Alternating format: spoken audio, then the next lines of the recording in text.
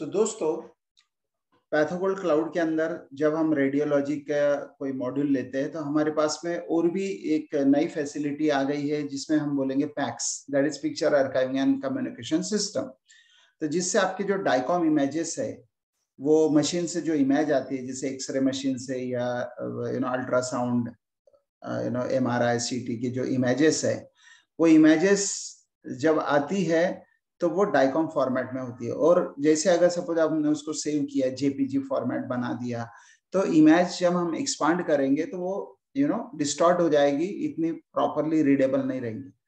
तो अगर हम पैक्स लगा देते हैं साथ में पैक्स सॉफ्टवेयर यू नो हम ले परचेस कर लेते हैं सब्सक्रिप्शन तो उससे क्या होगा कि जो इमेज है ओरिजिनल इमेज जो मशीन में है, वही इमेज आपको डायरेक्टली आपके सॉफ्टवेयर में भी दिखेंगे, जिससे आपके डॉक्टर जो फिजिशियन है वो यू नो वो अच्छे से वो इमेज को देख सकते हैं, उसको यू नो एनालिसिस कर सकते हैं, क्योंकि जो भी एनालिसिस है इन्वेस्टिगेशन में रेडियोलॉजी इन्वेस्टिगेशन का जो एनालिसिस है वो सबसे इम्पोर्टेंट है उसकी इमेज क्वालिटी के ऊपर, जिससे आप क्लैरिफाई कर सकते हैं कि what exactly is the cause तो ये डेमो में आपको जो दिखा रहा हूँ सेकेंडली सेकेंडली और एक बहुत बड़ा इम्पोर्टेंट इसमें बेनिफिट है कि जो रेडियोलॉजिस्ट है, उनको दो अलग अलग सॉफ्टवेयर को इस्तेमाल करने की ज़रूरत नहीं वो रेडियोलॉजी की इमेज देख सकते हैं और साथ में उसका रिपोर्ट लिख सकते हैं।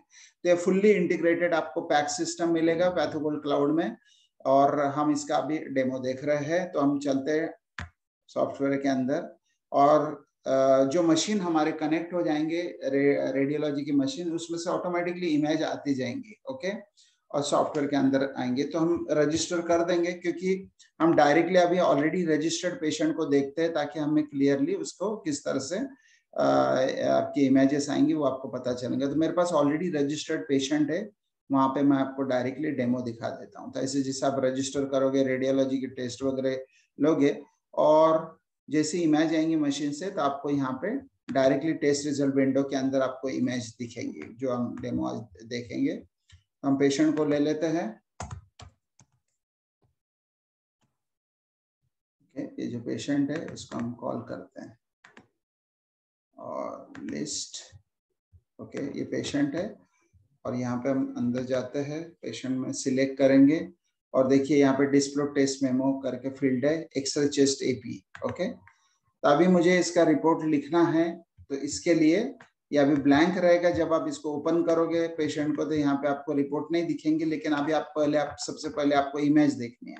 तो इमेज आपको यहाँ पे दिख जाएँगी पैक्स प्रीव्यू नाम का बटन दिया है, वहाँ पे आपको इमेज दिखेंगे। तो आप देख सकते हो इमेज देखिए कंप्लीट इमेज आ गई कनेक्ट हो गई डायरेक्टली और ये सेम टू सेम इमेज जो मशीन में आप देखते हो, वही इमेज यहाँ पे आ गई है, जो कि रेडियोलॉजिस्ट को रीड कर सकते हैं जूम कर सकते हैं, ये सब कमांड ऊपर दिए है ओके और यहाँ से वो मैग्निफिकेशन लेवल से देख सकते हैं कि क्या है क्या क्या है, उनको क्या मेज़रमेंट करना है तो मेज़रमेंट कर सकते हैं। जैसा एंगल मेज़रमेंट है दिया हुआ, देखिए, यहाँ पे मैंने सिलेक्ट कर लिया और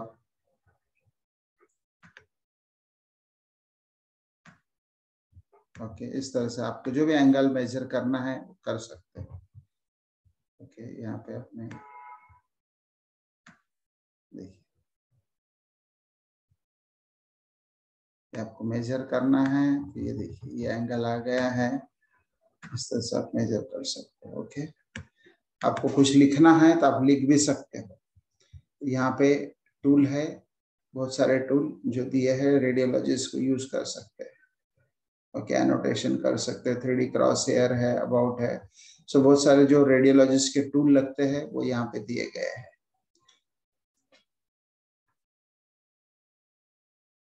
ये एनोटेशन करने का अगर आपको इसको लिखना है तो आप इसको लिख सकते हैं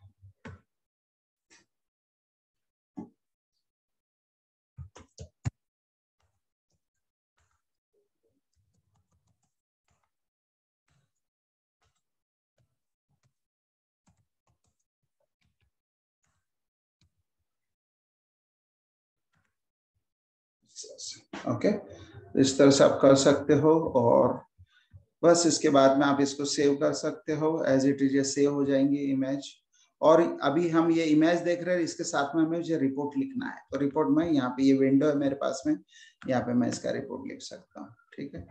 इस तरह से ये पूरा with radiology with PACS images के साथ में आपको ये मॉड्यूल मिल सकता है। देखिए, मैंने अभी इस पर रिपोर्ट लिखना है। और मुझे एक डाउनलोड करना है फॉर्मेट ये डाउनलोड कर लिया मैंने फॉर्मेट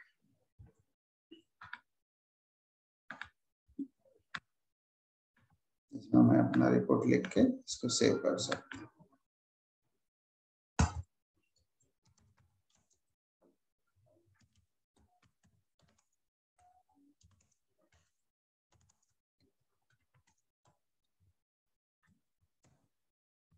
ठीक है? यहाँ पे एक रीजन दे दीजिए। क्योंकि फ़र्स्ट टाइम जब आप करोगे तो आपको यहाँ रीजन देने की ज़रूरत नहीं।